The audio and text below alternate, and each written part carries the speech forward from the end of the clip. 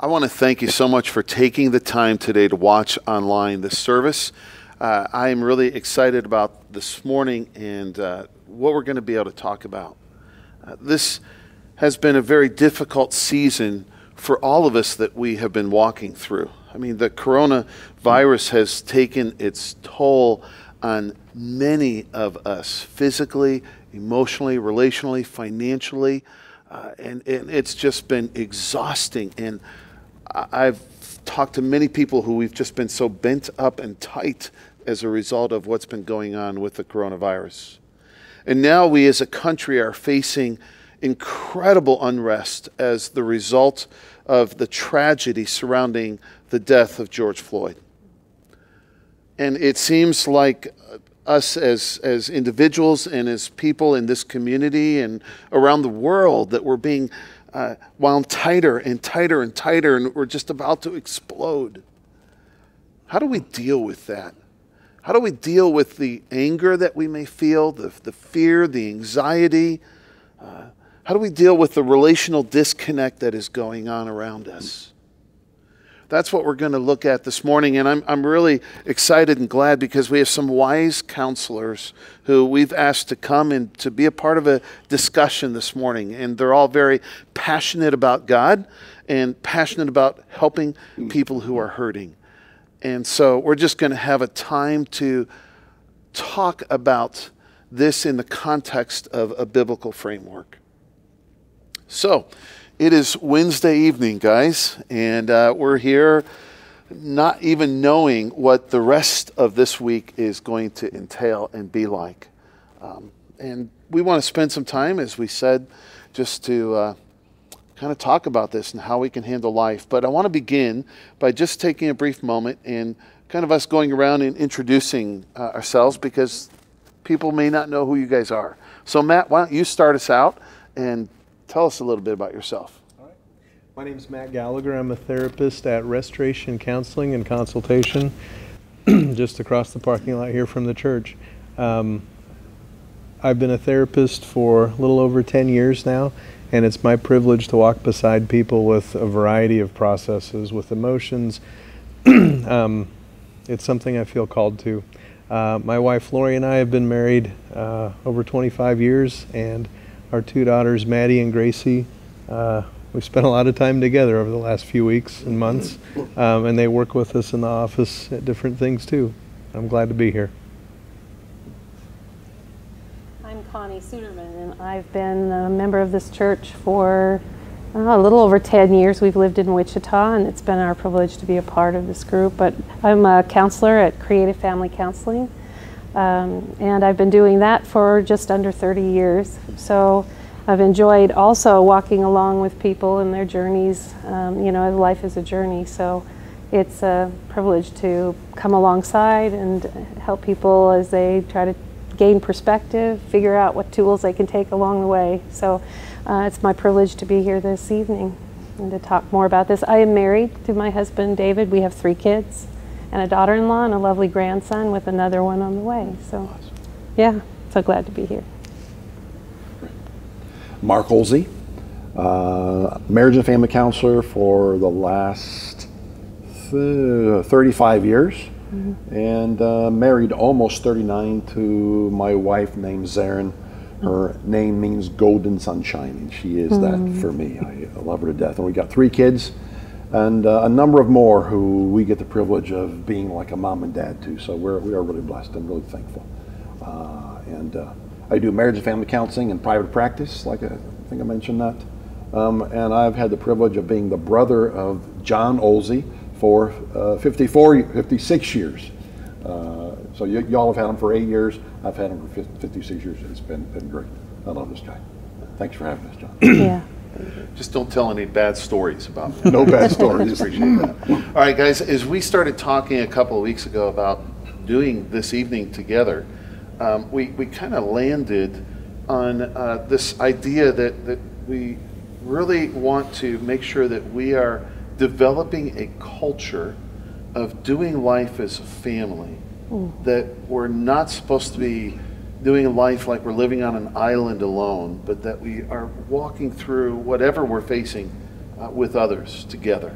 Uh, I wondered if one of you might want to just speak into that for just a brief moment as we kind of dive into this tonight. You know, John, it's a Jesus who set the best example on how we do community, and that's why we're here tonight. That's why we're here as a church. You know, He created the environment that allows us to do life together and gives us that option and showed us the way. And so, even when we face adversity, it's it's a uh, an important part of being a family if we can talk about it, if we can provide tools to one another that work for us, if we can speak and write and engage and um, pray together and all the things that we need to do individually to do that together as a group to allow us to have the opportunity to see it through, you know and to find our strengths through it. And uh, an example of, of, of where uh, family became so real is in the story of Ruth and Naomi when they uh, were found themselves in a whole nother space, you know, because of uh, something that was much bigger than them, famine in the country, people who were hurting, um, and they they clung to each other. And the Bible's very clear about how they held each other. They cried together. The emotions and the humanity of it is written in the story in Ruth. So if you get a chance to go look at that, to see how did they handle the adversity that was a part of their life during that time, and to see that God took them through it together. There was a plan that they could uh, engage the steps and the difficulties together with, a, with an outcome that was God's intention. And that's true for us today. There's an intention in what we go through, and there's something that will come out of even the worst of tragedies. In every, in every difficulty, there's opportunity. And so it's a matter of where we place our trust and how we engage the tools that we have along, you know, I referred to the journey, the moving of life, and to know that it's not isolated today, what we're experiencing. It's a part of a bigger picture. And the panoramic view, the journey itself, is something that's important to be aware of as we go through, to know that God has a plan that we can do it together and that there are tools to help us to do it together and to find ways to love in the process and give grace and to listen and to engage this as the Christians that, um, you know, that Jesus emulated, you know, in his walk, the people, the way he loved, the way he had grace, the way he listened, in spite of fear, in spite of anxiety, in spite of what we personally experience. We can be a part of the greater community so, so let's, let's, I want to just dive right into that Yeah. because when we were talking again, we had three themes that we kind of all said, this is important that we address in, in facing what we're going through right now. And the first one was anger. Mm-hmm. And so, um, I, you know, I, I want us to look at that. James chapter 1 tells us, you know, that we're to be quick to listen, slow to speak, slow to become angry. Ephesians chapter 4 says that we're to get rid of all anger, we're to be kind and compassionate. How do we do that, manage that right now in the reality of what we are feeling and facing? How do we deal with that? I'm also reminded of the verse that in our anger, not to sin. Anger is a healthy emotion. And if we're made in God's image, God had anger. but one of the ways that we manage that is by separating our feelings that are undeniable and we don't really get to control. They come up. We need to honor those. It changes when it becomes behavior. And what's interesting, our anger, it's an authentic emotion, but often it's secondary. Often anger, in, in some ways, it actually helps us. Uh, it's when we talk about a fight or flight response, there's the fight in that, or, or the flight where we'll run faster, but we'll fight harder. It's energizing. One, one. Uh, some people think that angry is one of the healthiest ways that we can be sad, and as long as it's not destructive, there's some truth in that. It energizes me to do things. It mobilizes, but it also destroys. What Connie described to maintain community is especially important because we have to choose that. For some of us, our anger repels people. In my personality, I will withdraw. Um, that's an impulse. It's not healthy. I have to consciously reach out. In other people's personality, they'll use anger to control or push people away uh, or bring them close and control. So, anger's a pretty important warning sign that I'm in distress, that we are in distress, and we're either trying to prevent something from happening or make something else happen. Anger is a healthy feeling that we need to feel, but really be careful about how we act on it.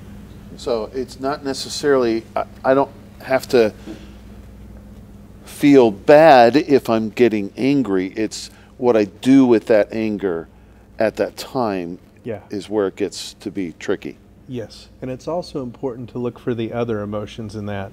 I'm not just usually angry. Is there some fear that I'm feeling? Mm-hmm. Is there something I'm worried about or something I'm sad about? Mm-hmm. Is the anger mm-hmm. covering or trying to protect me from some other emotion? I think of a couple things right now um, because there's a lot of anger uh, in our country. Uh, someone you know, said over the weekend, I heard that uh, they, they were saying that they were concerned that we were going to move to be uh, a world that's in, in fear to a world that's in anger. And, and almost overnight, that's taken place uh, in our own country and now other places in the world as well. Uh, anger is, is, is, is- is being evidenced and so forth in, in, in many ways. And it is something we all experience. Uh, and it is something we all have to deal with in our own lives individually and, and, and in the world around us. Um, and I think it's important, uh, Matt, that we, um, we recognize again it is an emotion that is healthy, and at the same time, uh, what do we do with it? Sometimes we can harness it for good, and other times it can be controlling of us and cause great harm. Uh, and, and, and we need to learn how to uh, not um, let it be controlling, uh, not let anger be unbridled, uh, and uh, and that, that takes some effort. That takes some uh, work on, on every one of our parts individually. Yeah. Yeah, I, I've heard it said that that whenever there's anger, there is always something beneath that. You know, and so what we need to work on is when we're angry is to pro- is to be thinking through and processing what is going on beneath that anger that I need to deal with and that I need to understand how to process and move forward. It's like connecting the You know, dots. yeah, connecting the dots there. Uh, and, and, yeah. and sometimes, like Matt, you were saying, it can be connected, uh, uh, be a secondary kind of a thing.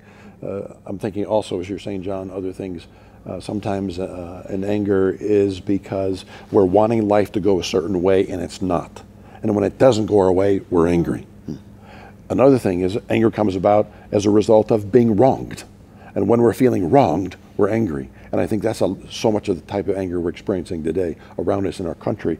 There, there has been this huge uh, uh, uh, of, of wrong done and, and, and has awakened or, or brought about, again, in so many people's hearts and minds, uh, wrongs that have been done in our country, one towards another. And this anger has just erupted because of, because of the wrong being done.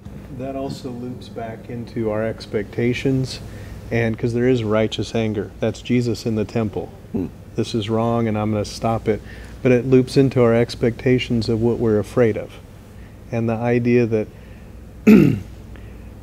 sometimes our anger tries to, like you alluded to, tries to bring about control. Hmm. And control is an illusion.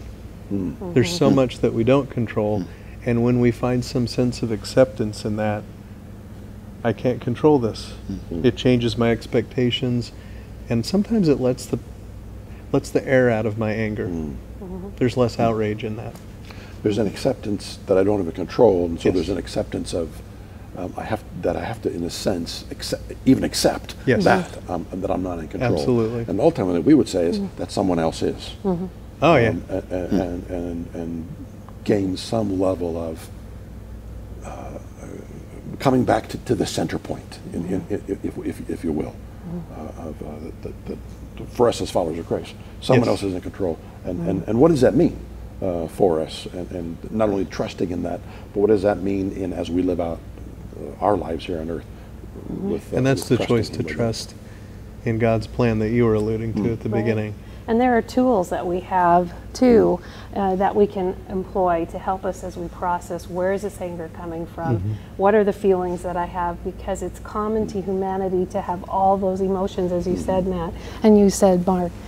meeting that we can find ways to address them. We can talk like we're doing right now. Hmm. We can talk about what is hmm. this, what's common, how do we deal with it. We can write, we can journal our experience so that we can look at it in black and white and make sense out of what's happening in the fog of our thoughts mm-hmm. and our emotions. We Yeah. can go for walks, you know, and get the physical energy out. We can run. We can have all kinds of ways to very in healthy ways cope with and deal with all of the emotions that God has given us because we have that responsibility but also that privilege.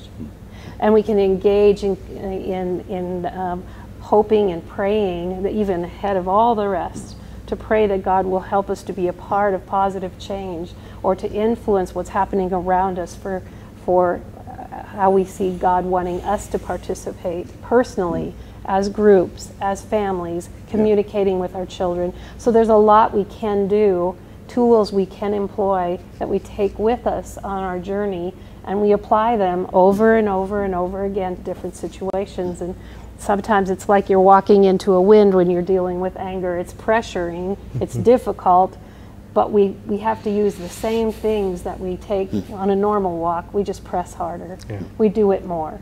And right now is a do it more time. Hmm. For sure. Hmm. Still have to live life, still have to push through. Exactly. Hmm. Yeah. And it's okay. It's not It's harder. It's not, not that I'm, not that I'm just going to be, okay, I'm fine. It's- the- the- Exactly. The wind is blowing. And- and- Exactly, and yeah. With anger, with anxiety, the wind is blowing.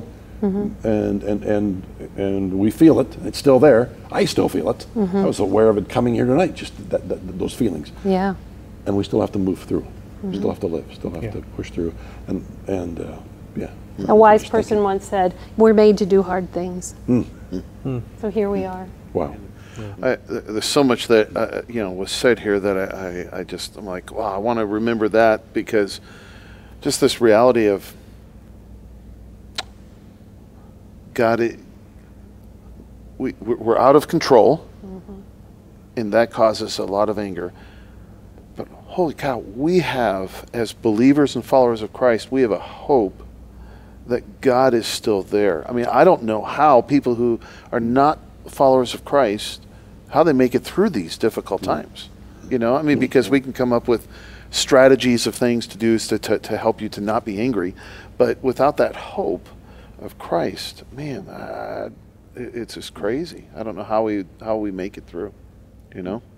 Um, let's let's move on to the second theme that we kind of talked about because it it it was already mentioned in in our conversations here, and that is that sometimes you know our, our anger, what is beneath that anger, is fear or anxiety, and that is a, a huge reality for us.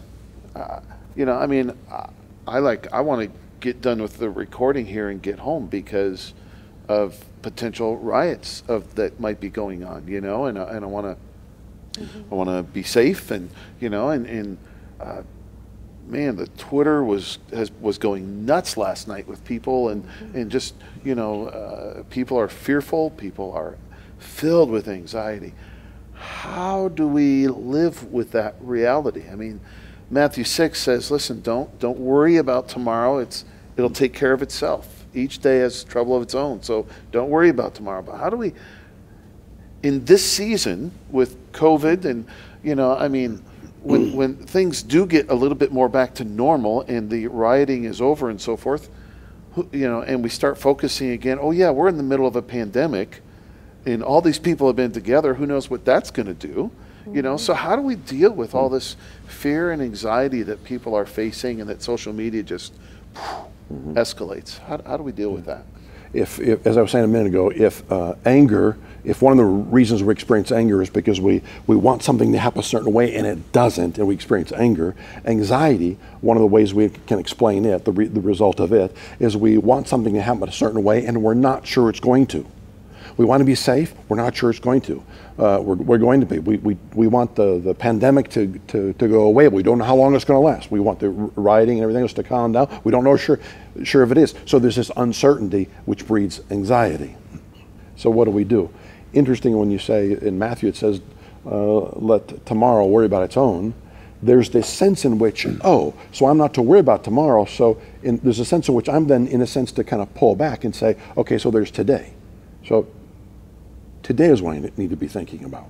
Mm-hmm. Um, not tomorrow, but it's today. It's a, it's a pullback in a sense. And one of the things that, that uh, uh struck me uh, uh, when the, the COVID thing started, I, I, I, saw a post on Facebook, and uh, a friend of mine said, um, you know, cell phone, uh, New Testament. And he said, what if we, as often as we looked at this thing, the cell phone, we pulled this out instead, the New Testament. As often as we checked this, we checked this. As often as we wrote something in here, we would write or something about this and they compared about 10 different things. And I was really convicted. I was like, oh, that was really good. And I literally pulled my New Testament out. I started carrying along with my, with my phone. And literally every time throughout the day I, I checked this, or I was about to, I opened this up and checked this out. And what happened is for me is I began memorizing scripture like I haven't done since I was a boy. Hmm. Because, and, I, and, and, one of the things I turned to was Psalm 23. I memorized that as, as a boy, and I've memorized that as, as in the last few weeks again. And I'm telling you, um, it has actually really made a difference. Mm-hmm. But it only makes a difference when I pull back and, and do some honest reflection on it. And I wonder so often as we as, as believers, we, uh, we, we, hear all kinds of scripture, we read the Bible in a year and all this kind of stuff, but how much of it do we really know to the point mm-hmm. where it changes our lives? And one of the things is, in, for me, has been Psalm 23, even just the very beginning, the Lord is my shepherd. We have a shepherd. The Lord is my shepherd. Is is the present tense.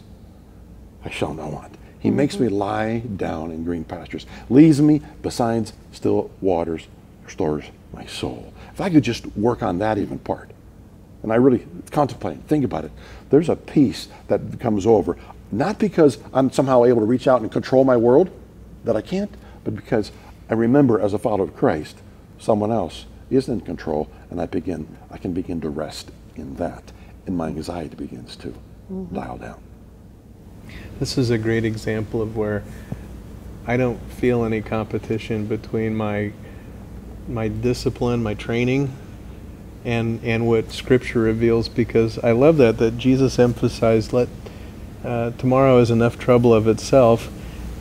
And in so many treatment approaches, there's been this surge of mindfulness and mindful awareness. Yeah because when I focus on today, I can handle the next hour of Wednesday night. Mm-hmm. If I spin too far into the future, that's actually where anxiety lives. Anxiety is worried about what things are going to happen in the future. And the other thing that we, um, there's been research into the impact of environmental traumas. And if we think about just the toll it takes from all the mental energy of thinking, what have I touched and am I clean and where have you been? Like, we're literally more tired as well. Mm. So, what's interesting, I'm out of gas because my brain is tired because it's being used in a much more deliberate way. And I'm being, it's almost like we're being pinged with fear, let alone if you check your phone that much, but we're being pinged with all the fear. I always remember when my kids watched that movie, The Croods we watched that years ago, and the caveman dad, his theme was never not be afraid. That's a terrible way to live. Yeah. And and recognizing that I can survive this moment and I can't control what's coming in the future, but I will choose to trust that I'll find a solution for it. Um, there's peace in that. There's a lovely devotional written by Stormie Omartian many years ago. I don't even know if you can get it in print anymore. But the name of it is Just Enough Light for the Step I'm On. Hmm. And wow. applying good. the reality that God doesn't ask us to scale mountains all at one time. This time we're in is like a mountain that we face, uh, but we can do it one step at a time. We can scale back, lean back, and, and take time count to 10 before we take the step and say, what can I see right now? How can I move within the, the amount of vision I have with the light that I have now? And it's biblical there too, that, you know, that Jesus talks about how he provides that light on our steps. We have our, we have our plans, but it's the Lord who directs our steps. So we can bring ourselves back, yeah. take a deep breath, and know that I just have to take this step I don't have to know what the next step is, or the next step, or the next step, but I can focus here.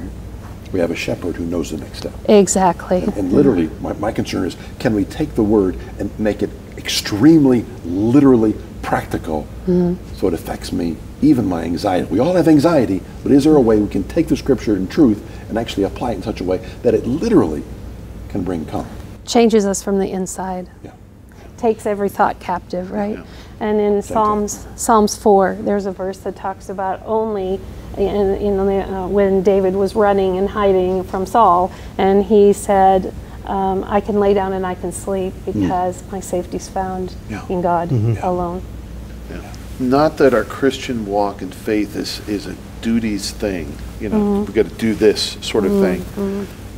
But yet a very real, honest, practical application to how to just help us all breathe a little bit easier and calm and relax and, and mm-hmm. not be so fear ridden or anxiety ridden is that that practice of engagement with God is mm-hmm. is that solo time with God. And you know I, I mean when I don't do that Linda can tell when I'm not you know? Yeah. it's like and and and I have found recently be- I, I just have become so busy with everything going on that that that has kind of wandered away. And and when that does uh, you know the, the past couple of uh, probably the past week I've been just focusing on Psalms ironic but um, and and I just found it amazing because uh, again it, it just everything just dials down a little bit you know?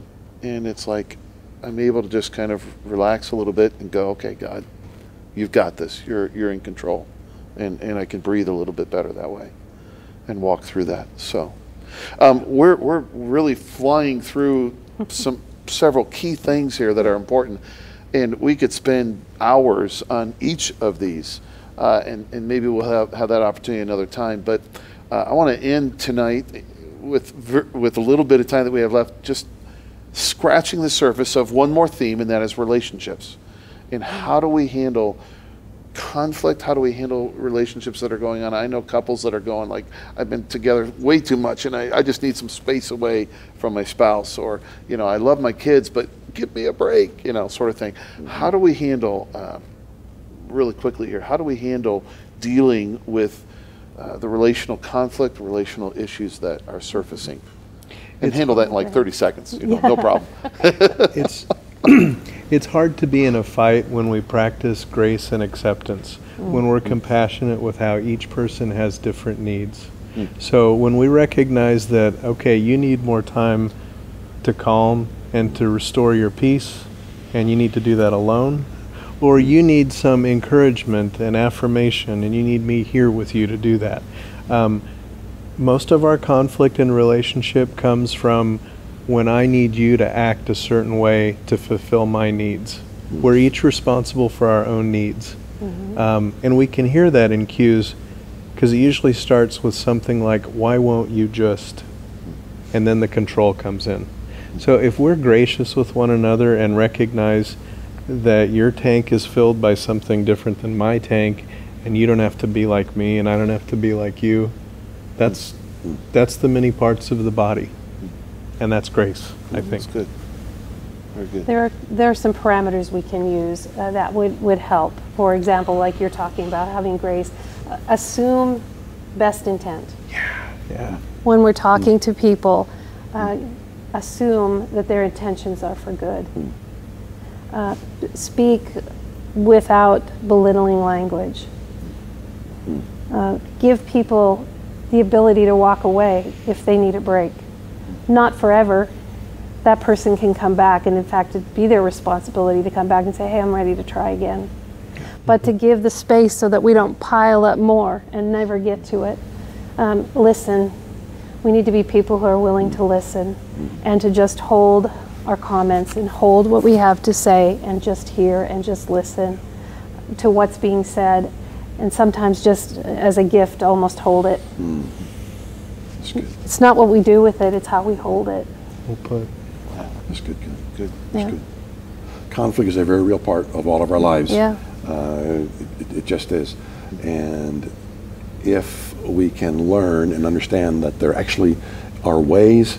We can uh, have conversations over our differences rather than fights and arguments. Uh, I think we can uh, find uh, some real um, health to our relationships too. Something I teach is a process called pledge. Uh, John can put that in the footnotes or something if you want. But there, there actually is ways that we can sit down and converse. And, and, I wanna, and, and and it starts off with pausing and listening Yeah. right? Pausing, realizing, okay, uh, I have to realize what happened uh, is, is th- there's two sides, and I have to be able to be willing to listen to your side as well. And if we can do that, learn to do that, and in that sense, Matt, give each other grace. We've got a great start in the process of being able to dialogue well through our differences. Yeah. Guys, we are out of time. Uh, I, I just want to again thank you. I appreciate you uh, so much, uh, just relationally and the connections that we have, and I've enjoyed this time of interaction here tonight. Um, if if I want to wrap up and say, just give us an anchor point, one thing, really briefly. Uh, and, and so you got like literally 15, 30 seconds to do this, okay? For me, the anchor point is hope. That our hope is in Christ. As followers of Christ, we, we have this hope that this isn't all there is and that heaven is coming someday. How about for you, man?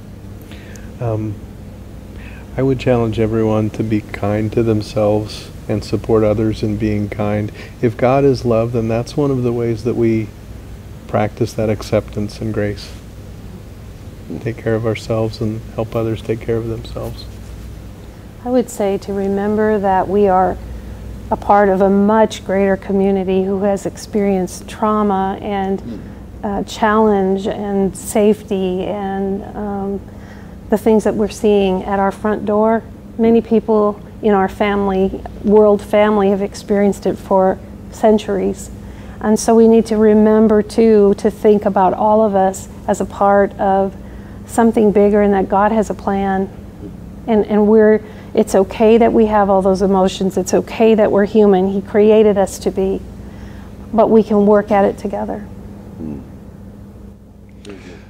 Connie, just jumping on that, Yeah. the idea of community and so forth. Again, one thing we didn't say, John, that I wanted to say was just as a final point, the idea that not only are we we our own families and church family, a community experiencing all these things, but outside of our door, literally outside of my my door, my neighbors are experiencing anxiety and anger as well, and somehow, somewhere, some way, uh, we need to be wrestling with these concepts ourselves so that we might indeed be able to be a light to them and just go over there. And oftentimes as we just talked about just be willing just to listen to them mm-hmm. in their anxieties their concerns. Um, and literally ask questions. We have to it's like a, go out into the world and have questions have the awareness others are struggling too. And then and then have questions even prepared that we could say hey w- w- what is life like for you? How are you doing? Hmm. And then being a listener and in even just in our listening, we're, we're, we're presenting, a, a, a, a, I think, bringing the presence of Christ, um, and, uh, and obviously praying for other doors to share and stuff too. But just a presence of someone who cares, is compassionate about the world around us, outside of our doors. I think that's a huge point to remember as well. Which thank you was is a, is a perfect segue back to what Brent talked about this past Sunday on you know uh, on how to be a follower of Christ and what does that mean and how to share your faith with those around you and and those that we come in contact with each day. And if you're watching this video uh, we we I said it a couple times and I know these the rest of these guys all agree with me that the the, the biggest anchor that we all need is a relationship with Jesus. And if you have never crossed that line of faith and said, Jesus, I believe in you, I'm trusting in you for life, and I'm, I'm placing my faith in you. If you've never done that, I want to encourage you to do that right now. It's, you can just simply say, Jesus, I'm tired of trying to make life on my own. I believe you died on the cross for me to offer me a way to experience real life now and heaven someday. And if you just thought those thoughts right now, the Bible tells us the reality that you will experience uh, greater joy now, but even the greatest joy of heaven someday. And so I hope that you will do that. Uh, listen, I hope that you'll connect with us next Thursday for Midweek Rewind. Uh, we will be uh, kind of rehashing this with a couple of these guys here. And uh, if you want to talk further with a counselor, is something spurred inside you as we were dialoguing tonight, uh, I want to encourage you just to email me. You'll see the, my email address on the screen. We have vetted several counselors who are passionate for Jesus and who are very committed to helping people who are walking through life. And so we'd love to be able to help connect you with somebody. And so if you would like to do that, please feel free to email me, all right? Hey, uh, just a reminder that we'll continue to have our services online, but June 28th is coming when we're going to open up here live on Sunday mornings as well as being online. So I hope to see you soon. Thanks a lot. Have a great day. Thanks again so much for joining us today. As we wrap up today, just a couple quick reminders for you that every Monday at noon we have what we call Monday worship. So for one hour on Mondays from noon to one, you're welcome to join us live in our worship center, or you can also watch live on our Facebook or YouTube channel for an hour of just kind of personal, introspective worship and prayer time. We'd love to have you join us, whether you choose to come in person or watch online. And then Thursdays at noon, we have a show on Facebook that we call the Midweek Rewind. So every Thursday at noon from noon to 12:30, we go live on the Facebook page to talk a little bit more detail about the previous week's sermon. And we also take your questions live. So if you'd like to go a little bit deeper, we'd love to chat with you. And if you can't watch live, you can also watch later or download the audio podcast. And the best way for us to stay connected is for you to subscribe to our email newsletters. We send out an all church email every Thursday, plus, we have some more specific uh, emails for kids or students, men and women. So, we'd love to stay connected with you there. If you're not currently getting our emails, we invite you to go to firstmeetchurch.org slash subscribe and sign up today. Thanks again for joining us, and we'll see you next week.